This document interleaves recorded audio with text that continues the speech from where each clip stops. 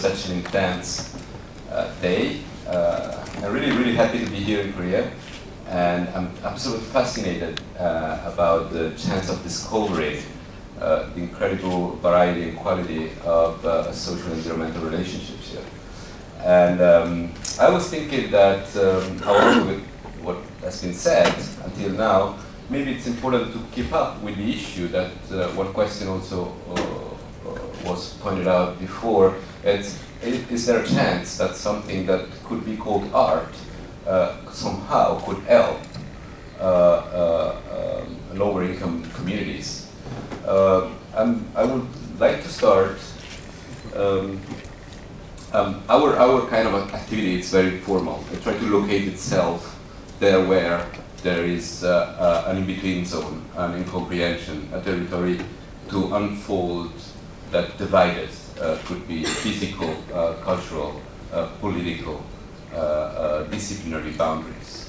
So attempting to do this, mm, I think one of the main important questions of our work is try to find, find ourselves the, the position, the location of things. I mean, this, this gets along also with a very antique uh, Oriental approach, which is Taoist approach and all I Ching reading and, and how, how position uh, uh, better than statement uh, allowed us uh, uh, to comprehend the, the possibility of development of what's the, the, becoming of thing of the. so I don't think I will not come out with a statement of what the possibility, future possibility for architecture or for, or for environment are, but I would like try just like to uh, uh, try to uh, let's say try to figure out what kind of state of transformation we're passing through, what, what, what moment of change are we living. Um, to make it not too, uh, also a little bit easier after this, uh, as I was saying, I would like to show a video first, and then probably uh, proceed in a different way. I feel my attitude is not to stand uh, still alone with a lot of people on the other side. I don't think this is a good way to communicate, neither to learn. I think learning from it's always a reciprocal process. So uh, I'd like to show the video and then uh, starting my speech from your questions, if you don't, if you don't mind.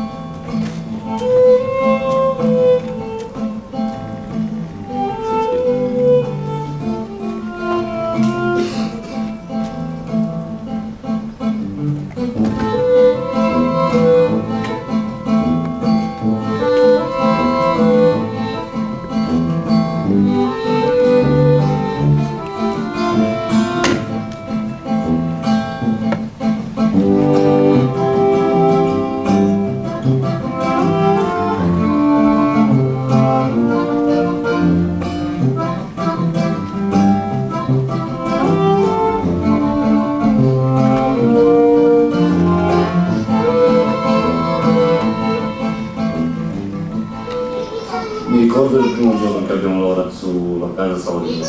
Abbiamo cominciato con anche un, una speranza per fare qualcosa meglio per i nostri figli o per noi, per vedere pure anche lo Stato italiano che possiamo fare una cosa se ci organizziamo a farlo. Non è che siamo tutti quanti criminali, violati o non so, come ci considerano tanta gente.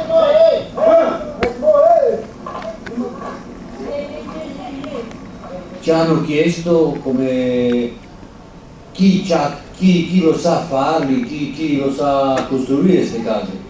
E noi ci abbiamo cominciato a fare questa casa che per dimostrare che noi possiamo farla e lo sappiamo già farla, che non volevamo andare in container. Per quello lì abbiamo fatto quella casetta lì.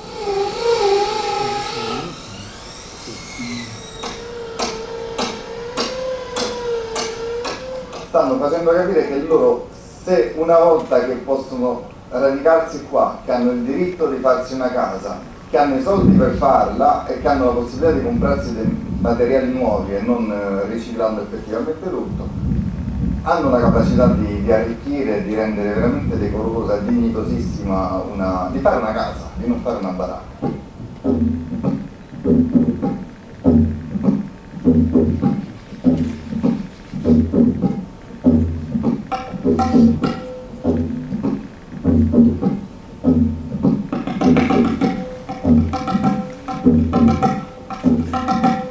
Credo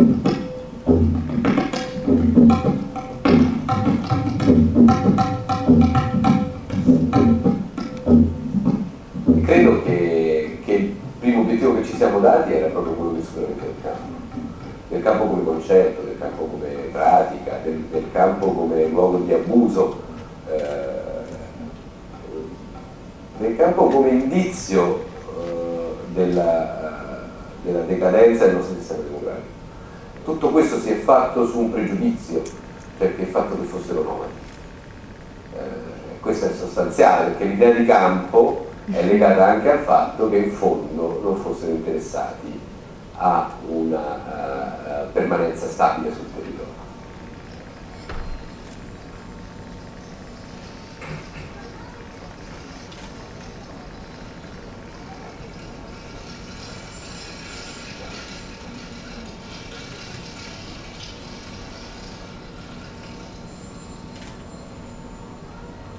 noi siamo arrivati, specialmente kosovari e macedoni, per tempo delle guerre, noi stavamo sistemati al massimo lì dove stavamo, in Kosovo, avevamo tutto, non c'avevamo niente di bisogno, diciamo, lavoro, c'avevamo il tè, c'avevamo casa, c'avevamo bambini, diciamo, ognuno c'aveva, non c'avevamo nessun bisogno per trasferirsi in altri paesi.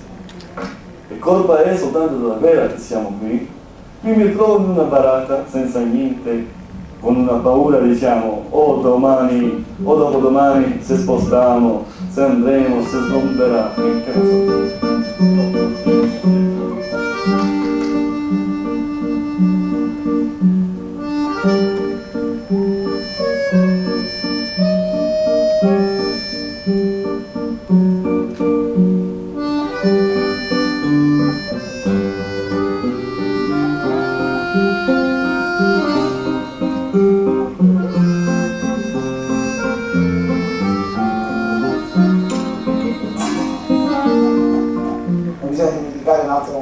Soltanto in Italia ci sono campamenti, nel resto d'Europa non esistono i campi a Roma, nel resto d'Europa esistono le case come tutte le altre persone, esiste un sistema anche dal punto di vista amministrativo tutto diverso.